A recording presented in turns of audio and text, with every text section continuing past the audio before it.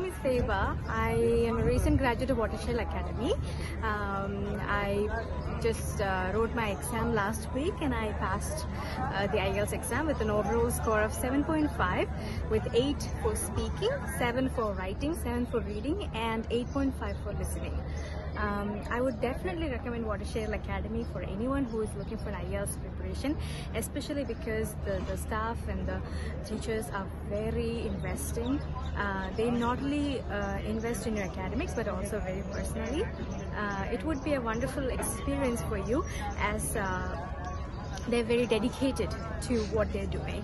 I'm thankful very much for Deepak sir and uh, Sini ma'am for all their personal encouragement and uh, for all the personal investment that they've done in my life and uh, all the efforts that they've taken for me to score so well in my exam.